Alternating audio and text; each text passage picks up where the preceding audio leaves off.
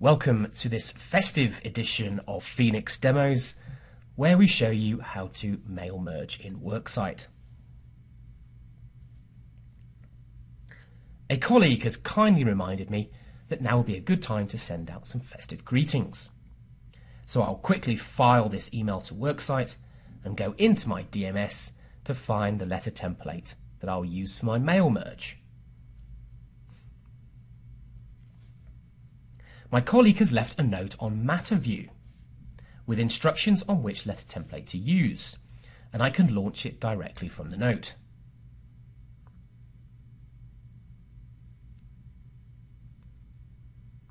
So here is my letter template. To start my mail merge, I must click on the Mailings ribbon on the Word toolbar, and then click on the Worksite Mail Merge button. Worksite needs me to identify my main document, which in my case is a form letter.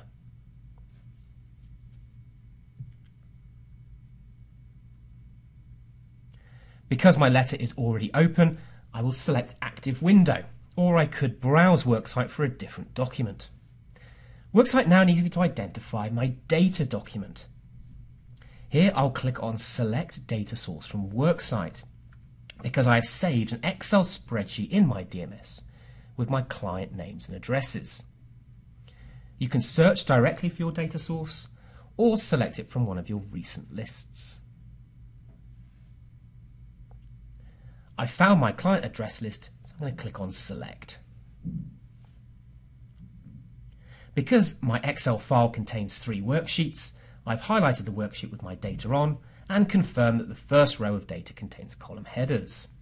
Now, for my mail merge to work successfully, the letter template must contain fields to determine where the values from the data source appear. Because my template doesn't contain any, I need to click on Edit Main Document. Now, I want to add my address block to the top right hand corner of my letter. So I'm going to click on that part of the page and click on Address Block on the Mail Merge panel on the right hand side.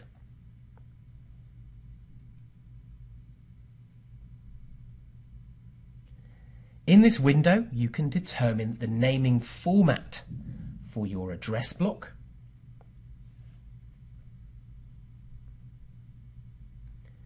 You can include a company name in the address and you can preview how the address has been constructed with the preview pane on the right hand side.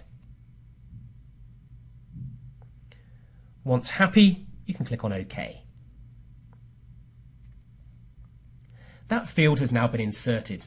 Just ensure that the field font size matches the rest of your document. Now, let's insert our greeting line.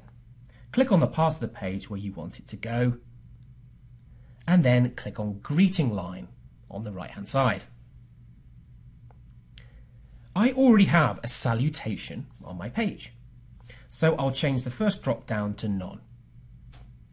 And I'm opting for a first name greeting.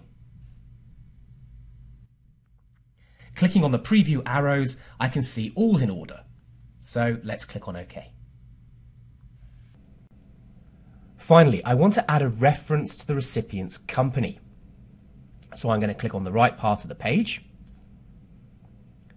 and then select more items on the right hand side.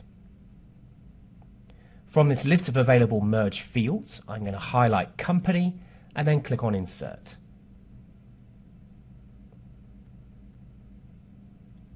After adding all of my merge fields, I'm going to return to the Worksite Mail Merge button and then select Run Merge. In this resultant dialog, you can merge into a new document, send it to your printer, or email. When ready, click on the Merge button.